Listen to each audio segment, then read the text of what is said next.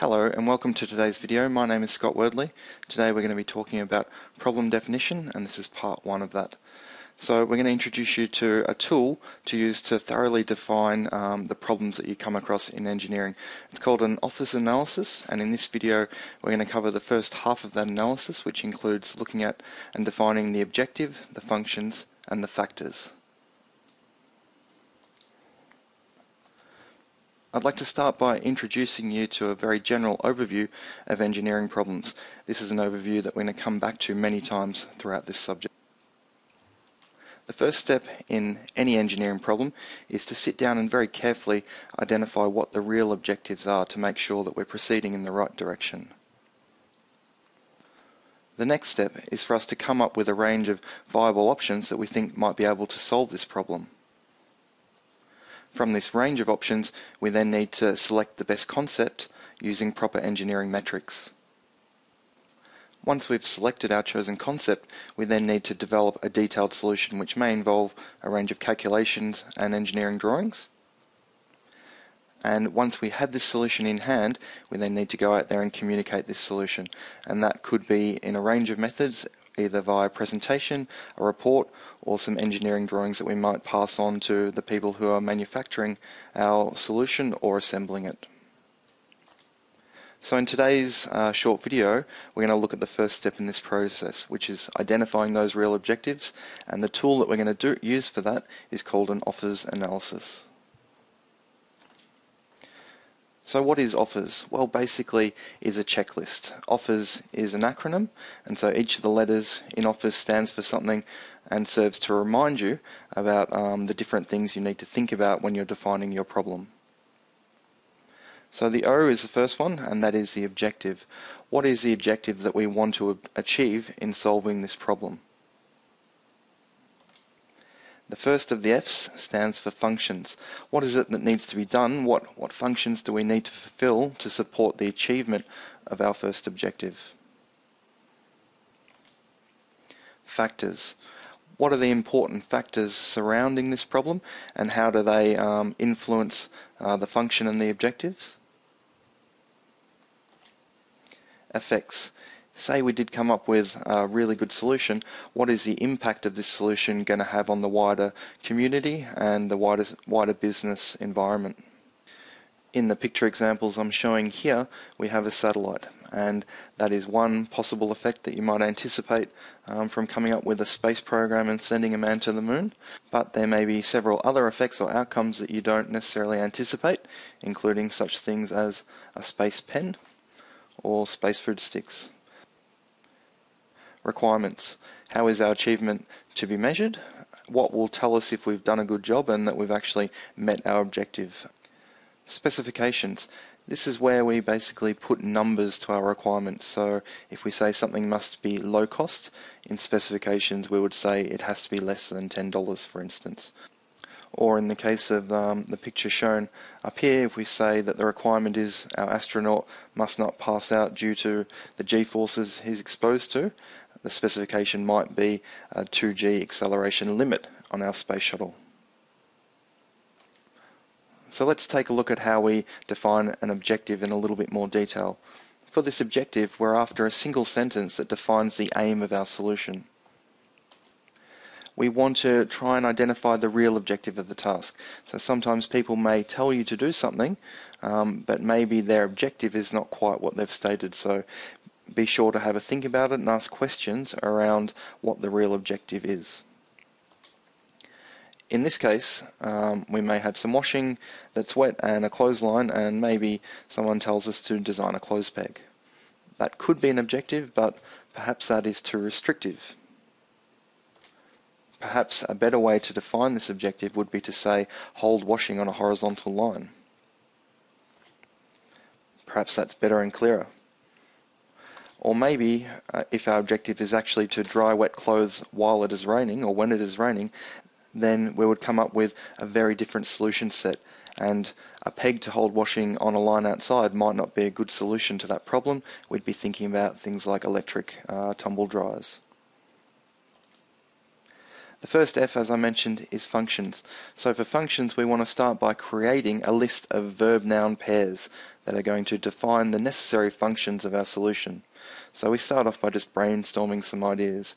Some examples, some very general ones, might include lift a load, be reliable, cost less, reduce injury, or even attract buyer. If we come back to our example of the hold washing on a horizontal line, then what are our functions? What are our list of verb noun pairs? They should be pretty easy to come up with. So let's think about it. We've got hold the washing. At some point after the washing's dried, we're going to release it. When we're putting the washing on the line and holding it, we're probably going to have to supply some energy to make that process happen, so we'll put that there. Get the holder is another one. We uh, It might not just be sitting there on the line, maybe we store it somewhere. And then after we're finished with drying our washing, we, we may want to store the holder. So those are some example functions for this scenario. What we usually do with our functions is to help us understand them to make sure we haven't missed anything, is that we order them chronologically. For example, in this case, we would start by getting our holder, little arrow, and then we're going to hold the washing and we recall that to do this we need to supply some energy.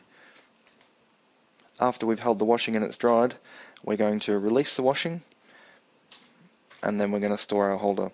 So a very simple chronological timeline to remind us of the flow of these functions.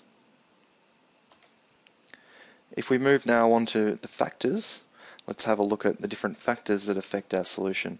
And the way we do this is by coming up with a list of words that start with M to remind us of the different factors. And the first one is men or, or women, and this is to remind us to think about the human factors involved in any solution that we come up with. Money is a big one. So, what are the costs associated with the solution? How much will it cost to bring it to market? What are our labour costs? What are our material costs? Machines. So, the types of technology available. These may be associated technology that work with our solution, or they may be manufacturing technology. M for methods. So here we're talking about manufacturing, possibly uh, distribution, recycling, uh, any any methods that have to do with our solution. Minutes. So time, uh, speed to market, learning period, perhaps that it takes to come to grips with this new invention that we've come up with. And finally, materials. So availability of the materials we might want to use, standardization of the materials, safety of our materials. So those are the six M's that we think about when we trying to list off the different factors that are going to affect our solution. So if we look now at our example of holding washing on a horizontal line again, and we think about what are the factors surrounding men and women um, relevant to this problem, we would want something that is to be used by adults and children and the elderly. And I've put a picture here showing possible arthritis pain. So we, we have to think about um, people who might be slightly impaired in their motor skills and come up with a solution that they're going to be quite happy using. In terms of money, we want to insist that um, our solution is going to be very inexpensive per item held on the line. There are some pegs around potentially that have some advanced features like USB keys that would be um, outside what we would want to design because that'd be too expensive. In terms of machines, we want um, manually operated, so we don't want to have an additional machine to be like a stapler to be able to staple our washing to the line. Uh, we want it to be safe as well. So here's an example showing that pegs are relatively safe around humans. In terms of methods, we're thinking regional manufacturing and local selling. And for minutes, we want it to be quick to hold and release and no training required. Here's a very complicated clothes peg that I found online, and you might look at that and find it uh, a bit hard to understand, but if you actually picked it up and tried to use it, you would find it quite intuitive, and so there's no, no actual training required for the users to use this peg despite its complexity. And finally, materials. Obviously, we're thinking non-toxic, um, something that children could potentially chew on and not be harmed by, and also non-damaging to our fabrics. So we wouldn't want to have a peg that had a whole lot of steel pressed against um, our fabric if it's if the fabric is wet, uh, which would then rust and, and get into our nice clean clothes. So those are our factors for this example. So, so far we've covered the objective, the function, and the factors, and this is the first half of our offers analysis, and this is where we've basically got to. For any analysis, offers analysis that you would conduct, you would follow a pretty similar process. In the next video, uh, problem definition 2, we're going to cover effects, requirements, and specifications to complete our offers analysis. Thanks for watching.